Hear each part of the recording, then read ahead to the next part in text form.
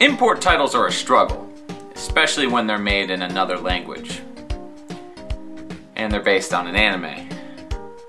That never made it to North America. Starring a red-headed, mini-skirt wearing ghost huntress named... oh, right. I have to be on my best behavior today. Ladies and gentlemen, my fiance. Hi guys, here's the intro. Wait, that's my job!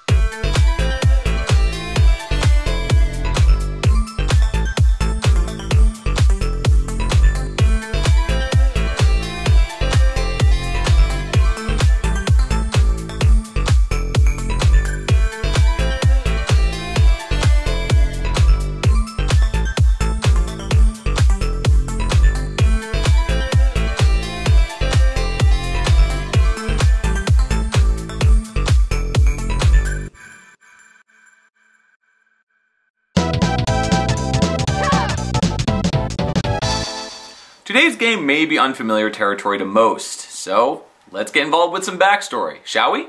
Roll the clip!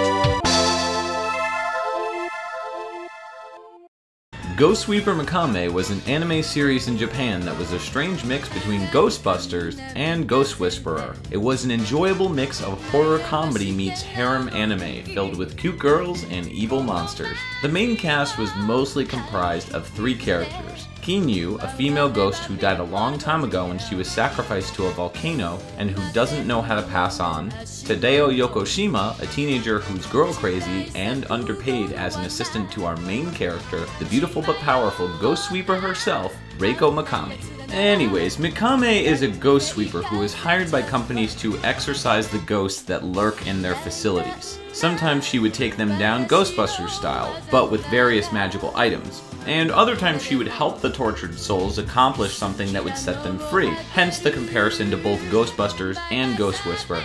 Only Jennifer Love Hewitt is replaced by this fiery haired.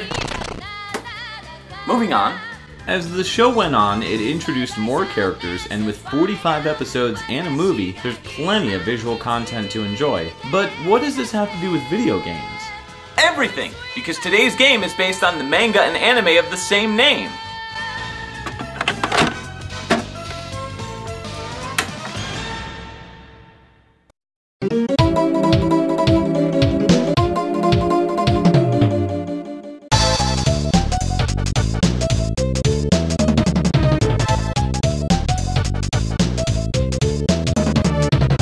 Game's full name is Ghost Sweeper Mikami Joreshi wa Nice Body. This game's title knows what I'm thinking. What? The game doesn't lie? Ugh, okay, I'm not gonna win this one. The game was released in 1993 by publisher Banalex and developed by Natsume. Sadly, the game only received a release in Japan as the anime never received a dubbed or subtitled English version, other than what's on the internet. Despite the lack of the source material in other countries, the game has a deceptively easygoing feel to it that both helps and hinders regarding the finished product. Is Ghost Sweeper Mikami worth importing? Let's take a look. Bypassing the title screen leads to the options menu, which, strangely, is entirely in English. It makes me feel that they were possibly trying to make the game easy to port over to Western shores, but sadly, it was not in this game's future. The game is broken up into seven levels called reports. In between each one is a short cutscene showcasing some of the humor the show is known for, and also details your next mission. As far as I can tell, the game's plot involves acquiring gems after defeating the bosses of each level. Each one is then placed in a statue that you received from this guy, whom I can only assume is a friend of yours. This gives the statue back a piece of its essence, which may or may not be a good thing. I'll leave that to those of you who will play through the game to see what I mean. I really want to know what's going on in this game, but because it's completely in Japanese, it makes it difficult. Luckily, you won't need to know any Japanese to make decisions, as there are no decisions to be made in the game. So as long as you feel comfortable skipping the cutscenes, you're not missing much. Just some weird, awkward scenes of her two cohorts getting in her way. I must be missing something here. You only play as Reiko Mikami, which makes sense as she's the main character of the show. Time to get ready to. Ow. Oh, get hurt. The game's controls are very tight and responsive, with the standard directional pad movement controlling Reiko. She attacks with her main weapon in the show, a sword-like baton that is magic infused. She can swipe normal by pressing Y, or by pressing up and Y to attack enemies just above you. Power-ups can be picked up and used to either return health by eating cake, or by giving projectile power to your attacks. Once you are hit, however, your power returns to normal.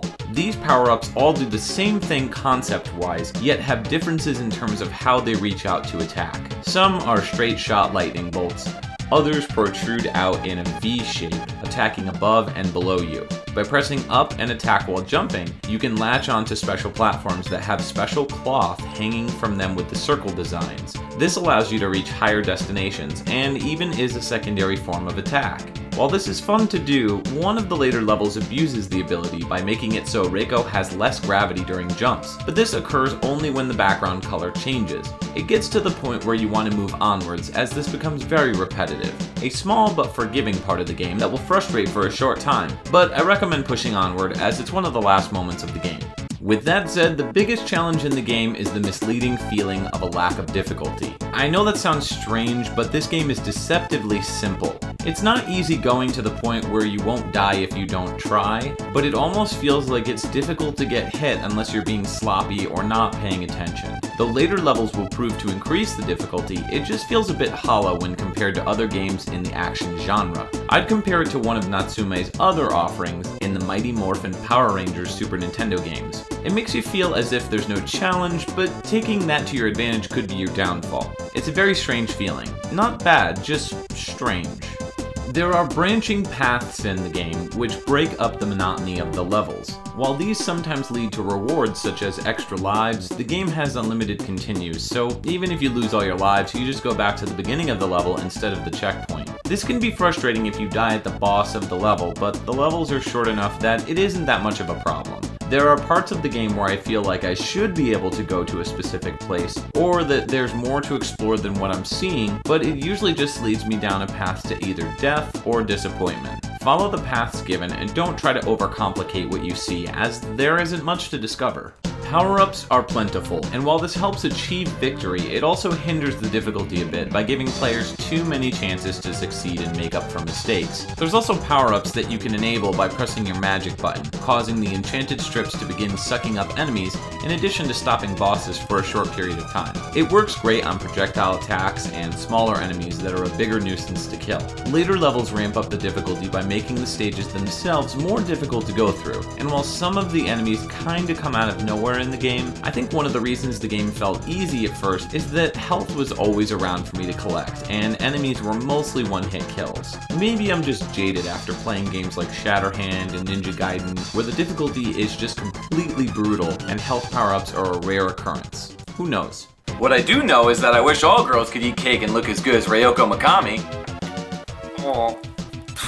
While the visuals here don't necessarily take too much advantage of the Super Nintendo special features such as Mode 7, the colors are gorgeous. The levels can at times be a bit on the bland side, but the characters themselves give the experience of watching an episode of the anime show. There's plenty of subtle nods to Reiko's constantly changing attire, with her always wearing the same dress but receiving a palette swap in each level, same as the show's episodes. The cutscenes show off some really rich, vibrant hues, as well as some impressive shadowing. The flying level is probably the most gorgeous background of the game, with the sun going down reflecting off of the clouds. Enemies are creative and fun to attack, such as the mud monsters, undead zombies, possessed train carts, and, uh, Playboy bunny models? Even the end bosses in each level are unique and fresh. The game doesn't take itself too seriously, and that's a good thing. There's also a bit of variety regarding the level styles that changes up the gameplay a bit. Unfortunately, the intentions of breaking up the monotony of the action tend to be mostly weak and stiff. There's a level where Reiko gets shrunken down and has to ride a cat to the other end of the level. This is probably the strongest of the different unique styles the game showcases, aside from the main core of gameplay that the standard side-scrolling levels provide. There's also a level where Reiko rides a broomstick. Hey, I didn't even say anything then! But you were thinking true. This portion of the game feels more like a shoot 'em up than the other levels before it, but the moving mechanisms are very stiff, and you may feel like Reiko will not move as fast as you'd like her to. No pun intended, no pun intended, I swear.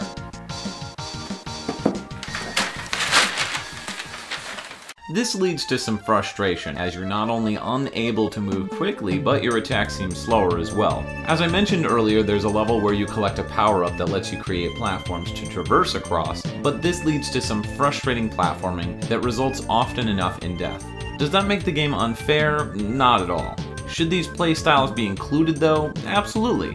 I think despite the unpolished nature of these levels, they are still really fun to play through and add challenge, albeit the wrong kind of challenge that requires precision that the game just simply can't provide. Reiko's just better at sticking to her basic nature of jumping and attacking.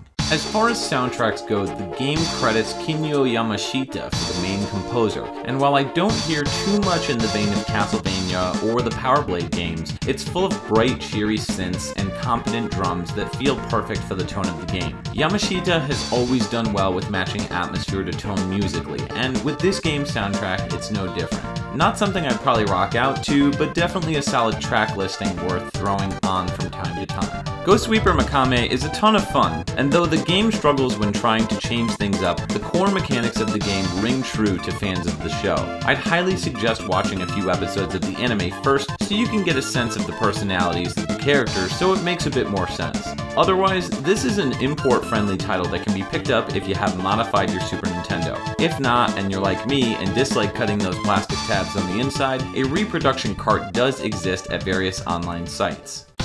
So yeah, Ghost Sweeper Mikami is a recommendation. And yeah, I've got a bit of a thing for redheads. I Just don't tell my fiance.